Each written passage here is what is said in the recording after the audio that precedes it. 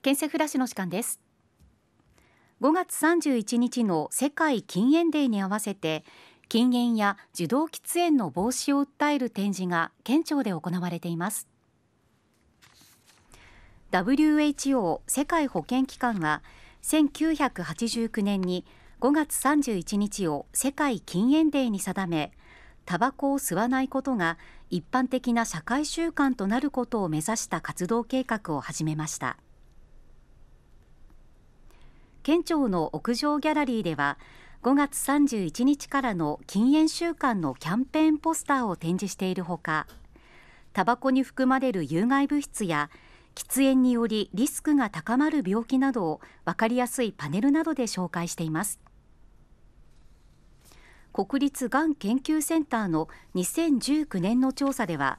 奈良県の喫煙率は全国で最も低いものの6人に1人が喫煙者だといい受動喫煙の危険性などを考えるとさらなる禁煙への取り組みが求められています。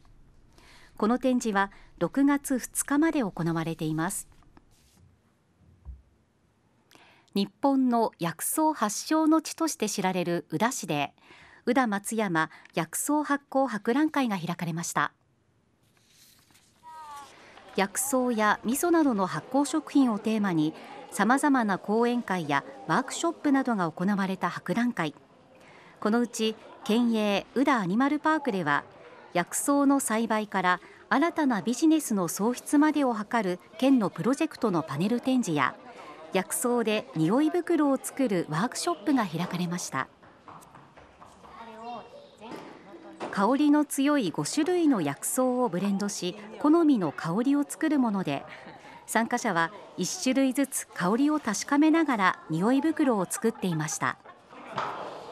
あのおばあちゃんの着物みたいな匂いです。八つ橋はだから。ちょっとなんか柑橘系というかそのまあすっきりする匂いなんで。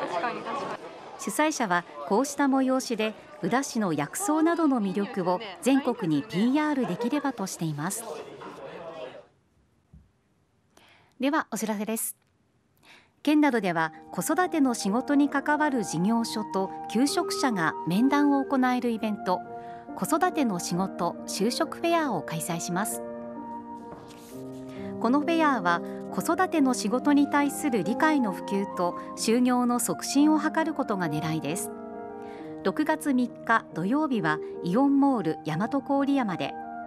8月27日日曜日は橿原市役所分庁舎ミグランスで開かれ時間はいずれも11時から16時です。対象は令和6年卒業の学生を含む求職者や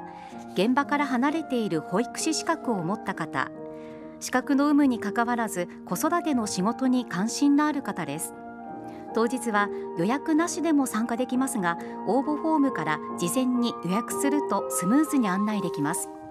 申し込みなど詳しいことについては奈良県保育人材バンクのホームページを確認いただくか電話0744-29局の0160番までお問い合わせください。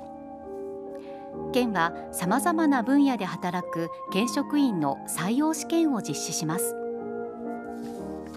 募集する職種は保健師社会福祉職心理判定員水産文化財建造物技師学芸員です。申し込みは6月9日金曜日までで県人事課のホームページから申し込みを済ませた上で試験当日に必要書類を持参ください。職種の申し込みは1つまでで受付後の変更はできません。第一次試験は6月18日日曜日に行われ採用予定日は令和6年4月1日です。なおそれぞれ採用予定人数や受験資格は異なります。詳しくは奈良県人事課電話